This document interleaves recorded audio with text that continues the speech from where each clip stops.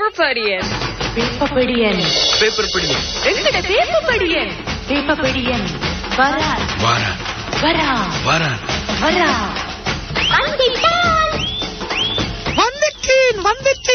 வரப்போறீங்க வரப்போறீங்க. இன்னும் இரண்டு நாட்கள் இருக்கிறது. இனிய காலை வணக்கம். என்னுடைய தமிழ் பேசும் மக்கள் எல்லோருக்கும் அண்ணா வணக்கம். வணக்கம். ரெண்டு நாட்கள் தான் இருக்கிறது. என்ன. மெகா பிளாஸ்டிக்கு பாருங்களேன். நாங்களும் அஞ்சு நாள் பத்து நாள் ஒன்பது நாள் பதினெட்டு நாள் அண்ணி அண்ணி வந்து ரெண்டு நாள்ல வந்து நாளைக்கு நாள். நாளை.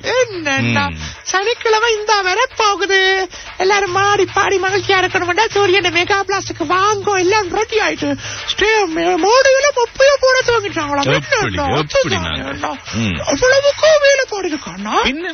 சும்மாவோ நாங்க? கிட்டத்தட்ட கோழி போட்டாங்க ஒரு கிழமைக்கு முதல்ல ரெண்டு கிழமைக்கு முதல்ல வேலையை ஆரம்பிச்சிட்டாங்க மேடை போடுறதுக்கு என்னன்னா. அப்ப பாருங்க எந்த பெரிய மோடையா இருக்கும் என்ன? நிச்சயமா நிச்சயமா. அதான் சொன்னமே சர்வதேச தரத்திலான ஒரு.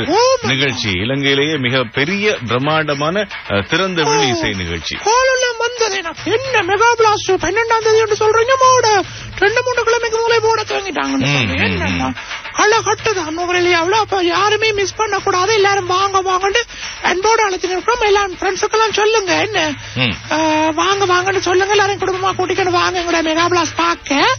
பத்திரிகைகளை எடுத்து பார்ப்போம்னா நிறைய இந்த சரத் வீரசேகரை விட விமல் வீரசேகர செய்தியும் வந்திருக்கேண்ணா. அவையோட செய்திகளை படிக்கிற நேரம் ஒரு பொண்ணு மனசுக்குள்ள. தானாவே வந்துரும் அண்ணா. ம், ஓம் ம், அண்ணா. ம். எனவே மீண்டும் மற்றது சட்டத்திறனைகளை விமர்சிச்சிருக்கிறார். இனவாதி நீதிபதியாம் இனவாதியான சட்டத்திறனிகளாம். என்ற மாதிரி கதைச்சிருக்கிறார் சரத் வீரசேகர. விமல் வீரவந்து சொல்லியிருக்கிறார் சிங்களவர்களுக்கும் பேசுங்கன்ற மாதிரி.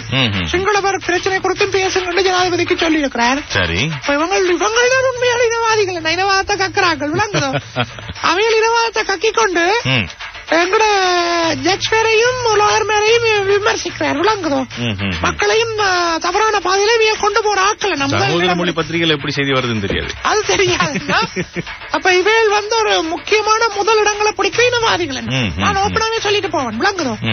சரி நான் வீரகேசரி பத்திரிகை எடுத்து பார்ப்பேன் பிரதான தலைப்புச் செய்தினா வீரகேசரி பத்திரிகை முற்பக்கத்துல வந்திருக்கிறது பொது இணக்கத்துடன் பதிமூன்றை முன்னெடுப்போம். அனைவரும் ஒன்றிணைய வேண்டும் சபையில் ஜனாதிபதி கோரிக்கை. மாகாண சபை முறைமையை ஒழிக்க முடியாது. ஆளுநருக்கு ஆலோசனை வழங்க குழு இணங்கினால் மாகாண சபை தேர்தல் சட்டத்திலும் மேற்றம் என்கிற செய்தி பிரசிடன்ட் பேசினவர் தானே? பாராளுமன்றத்துல. அப்ப அவர் பேசின முக்கியமான செய்திகளை வந்திருக்கு. அதுலதான் மனுஷன் சில விஷயங்களை சொல்லி இருக்கிறார் நாட்டின் ஒருமைப்பாட்டுக்கு பாதகமான எந்த திட்டத்தையும் நான் முன்வைக்கப் போவதில்லை. அப்ப பதிமூன்று இதுக்குள்ள வரும் போல இருக்கு. எல்லாம் வரும். நாட்டின் எதிர்காலத்துக்காக பதிமூன்றாவது அரசியலமைப்பு திருத்தத்தை பொது இணக்கப்பாட்டுடன் முன்னெடுப்பதற்கு அனைவரும் ஒன்றிணைய வேண்டும். அப்படி என்ன நடக்காது ஐயா அது இந்த எந்த காலத்திலும் நடக்காது. விளங்குதோ. போர் கொடி காட்டுறதுக்கு நிறைய பேர் உள்ளுக்கு இருக்கிறாங்க. ஆக அனைவரும் ஒன்றிணைய வேண்டும். பாராளுமன்றம் உடன்படுமானால் மாகாண சபை தேர்தல் சட்டத்தை திருத்தவும் தயாராக உள்ளேன். என்று ஜனாதிபதி ரணில் விக்ரமசிங்க பெல்டி அடிச்ச மாதிரி கழிச்சிருக்கிறேன் விளங்குதோ ம். தன்னிச்சையாக தான் முடிவெடுக்க முடியாதுன்ற மாதிரி அவர் கருத்துல தெரியுதுண்ணா ஆ. எல்லாரும் எல்லாருக்கும் தெரிஞ்ச விஷயம் தானே? ஓமண்ணா ஒன்றாணைந்து தாங்கள் முடிவு தாங்கள் முடிவெடுப்பார் அப்படின்னு சொல்லி அவர பேச்சு இருக்குது. மாகாண சபை தேர்தலை முதலில் நடத்துங்கள். எதிர்க்கட்சி தலைவர் சஜித் ஜனார்தனம் கோரிக்கை. இவர் கோரிக்கைகளை விடுத்துக் கொண்டிருக்க வேண்டியதான் மனுஷன் தான் நிக்கிற காலில் அந்த சொல்லுவாங்க முயலுக்கு மூணு கால். கால் தான் நிக்கிறேன். முதல்ல ஜனாதிபதி தேர்தல் தான் நடக்கும். ம். விளங்கு ரெண்டு மாதிரி தான் வர்ற கதை. அப்ப சைத்தன்னா இனி எதிர்க்கட்சி என்ன பண்ணாலும் கருத்துக்களை முன்வைக்கத்தானே வேண்டும்? ஓமோ அவரும் பாவம் என்னதான் செய்கிறது என்ன? ம். வீரகம பகுதியில் ரயிலுடன் கனரக வாகனம் மோதி விபத்து மலைய மற்ற பிரதான ரயில் போக்குவரத்து ரயில் ரயில் தான் வருது. ரயில் போக்குவரத்துகள் பல மணித்தியாலங்கள் ஸ்தம்பிதம். இந்த வீடியோ பார்த்தேன் நான் நேற்று இரவு. வெளிநாடுகள் நடக்கிற மாதிரி என்னன்னா மோசமான ஒரு விபத்து அண்ணா விளங்குதோ ஓ பார்க்க முடியாத ஒரு சம்பவமா இருக்கிறது. அந்த செய்தியும் வந்திருக்கிறது மகிந்தவுடன் கலந்துரையாடி தீர்மானம் ஒன்றை எடுங்கள். பொதுஜன பெருமுறை எதிரணியின் சுயாதன உறுப்பினர்களுக்கு ஜனாதிபதி ஆலோசனை. இந்த பதிமூன்றாவது திருத்தத்தை அமல்படுத்துவதற்கு ஜனாதிபதி யோசனை முன்வைக்கும் போது அரசாங்கத்தின் பிரதான கட்சியான பொதுஜன பெருமுன அதற்கு எதிர்த்து எதிர்ப்பு தெரிவிக்கிறது. ஆகவே ஜனாதிபதி நிலைப்பாடு தொடர்பில் முன்னாள் ஜனாதிபதி மஹிந்த ராஜபக்ச தலைமையிலான பொது என பெருமுனவின் நிலைப்பாடு என்னவென்று பாராளுமன்ற உறுப்பினர் தயாசிரி ஜெயசேகர ஜனாதிபதியிடம் கேள்வி எழுப்பியிருக்கிறார். கேள்வி எழுப்பினதுல ஒன்றுமே இல்ல மிஸ்டர் தயாஸ்ரீ ஜெயசேகர் ஐயா என்னென்னு சொன்னால் இப்ப சிங்கள மக்களோட வாக்குகள் அது வாக்குகளாலதான் பொதுஜன பெருமன எம்பி எம்பி ஆக்கள் வந்து ஆளுங்கட்சியில வந்து கோட்டாவையும் ஜனாதிபதி ஆக்கினது.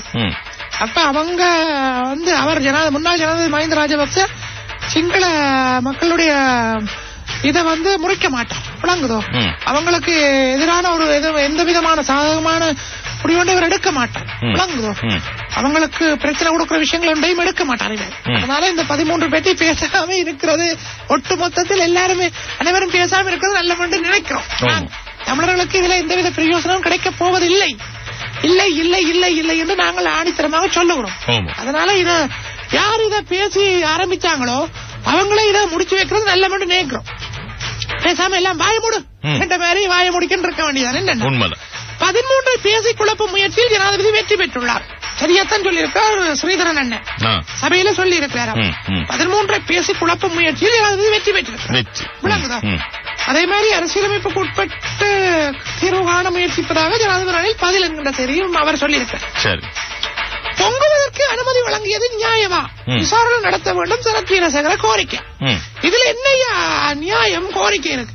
பொங்குவதற்கு அனுமதி கொடுத்திருக்கிறாங்க. எந்த பொங்குவதற்கு? என்னன்னா தெரியாதா உங்களுக்கு? இந்த நாட்டில் உள்ள கோயில்களில் சிங்கள ஓ பௌத்த- அந்த பொங்குவதற்கா புத்தர் சிலையை வைத்து வழிபடவில்லை.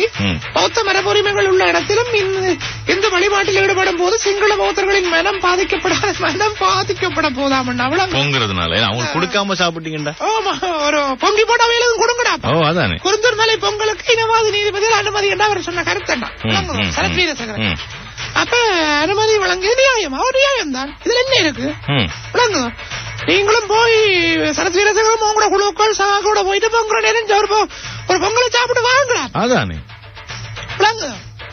மலையகம் இருநூறு பேரணியில் சகலரும் பங்கேற்க வேண்டும். மனோ கணேசன் தலைமையிலான தமிழ் முற்போக்கு கூட்டணி அழைப்பு விடுத்திருக்கிறாங்களாம். புகலிட கோரிக்கையாளர்களை சர்ச்சைக்குரிய கப்பலுக்கு இடமாற்றுகிறது பிரிட்டன். விளங்குதா. இம்ரான் கான் அரசியல் ஈடுபடுவதற்கு ஐந்து வருடம் தடையாமணும். பாவம் மனுஷன் சிறையில போட்டுட்டு அரசியல் அஞ்சு வருடத்துக்கு ஈடுபடலாம். தடை விதிச்சிருக்காங்களா பாகிஸ்தான் முன்னாள் பிரதமர் இம்ரான் கான். பாராளுமன்ற நிதி அதிகாரத்தை சவாலுக்கு உட்படுத்த முடியாது. எந்த நீதிமன்றத்துக்கும் அதிகாரம் இல்லை என்கிறார் சபாநாயகர். ம். அவ்வளத்தோடு இன்றைக்கு வீர சிறப்பத்திற்கு முன்பாக செய்திகள் நமக்கு வருது. எடுத்து பார்த்தோம். வேகமாக ஏனைய அதிகாரங்களை பரவலாக்குவது பற்றி முதலில் பேசி பதிமூன்றை கட்டம் கட்டமாக அமல்படுத்தலாம். சும்மா இருங்க ரணில் ஐயா. போலீஸ் அதிகாரங்களுக்கு பின்னர் வருவோம். அனைவரும் ஒன்றுடைய அழைக்கிறார் ரணில. மனுஷனும் ஏதோ ஒரு விதத்துல கொடுக்கணும் தான் இருக்குது. ஆனால் கொடுத்தால் பொங்கி அழிவினம் இல்ல ஒண்ணா பின்ன? பொங்கல் கூடாதுன்றாங்க.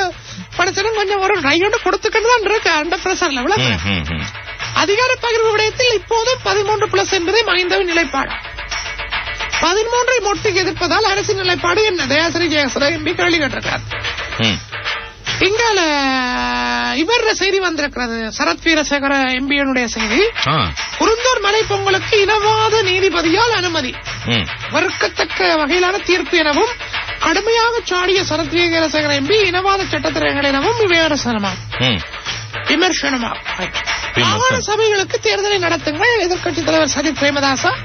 காணி அதிகாரத்தை வழங்கினால் பௌத்த மரபுரிமை அளிக்கப்படும் சரத் வீரசேகர கூறுகிறார் காணி அதிகாரத்தை வழங்கினால் மரபுரிமை பௌத்த உரிமை அளிக்கப்படும் மீறப்படும் ஓ, பதிமூன்றை அமல்படுத்தினால் இன மோதல்கள் மீண்டும் ஏற்படலாமா.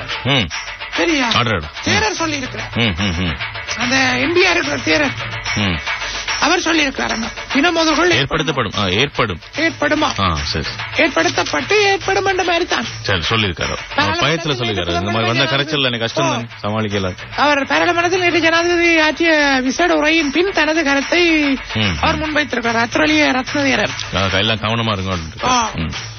உள்நாட்டு கடன் மறுசீரமைப்பு யோசனை எந்த ஒரு நீதிமன்றத்திலும் சவாலுக்கு உட்படுத்த முடியாது சபாநாயகருடைய செய்தி வந்திருக்கிறது. மிக மோசமான வறட்சி ஏற்படலாம் அண்ணா. வடக்குல பாத்தீங்களா? யாழ்ப்பாணம் பவுனி அங்க எல்லாம் யாழ் பல்கலைக்கழக சிரேஷ்ட விரிவுரையாளர் பிரதீப ராஜா எச்சரிக்கை விடுத்திருக்காரு. ஏற்கனவே வடக்கு கிழக்குல கடும் வறட்சி தான். இதுலயும் வடக்குல மிக மோசமான வறட்சி ஏற்படலாம் என்று அவர் சொல்லியிருக்கார். சரி. வடக்குக்கு போறாக்கள் பார்த்து போங்க. சரியான வெயில்.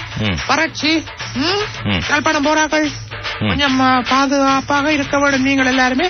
அப்ப கொஞ்சம் யோசிச்சு முடிவுல எடுங்கோ.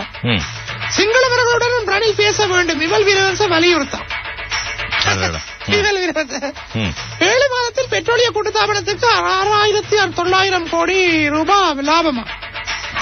இனப்பிரச்சனை தீர்வு காண்பதற்கு கிடைத்துள்ள சந்தர்ப்பத்தை பயன்படுத்திக் கொள்வோம். மெனோ அண்ணா சொல்லுகிறார். விளங்குதோ? இதுல சந்தர்ப்பத்தை பயன்படுத்தினாப்புல எங்களுக்கு கிடைச்சதையா போகுது என்ன? போட்டு சந்திப்போம். வாங்க. ரெண்டு நாட்கள் இருக்கு. பாய் Pepe María Mora.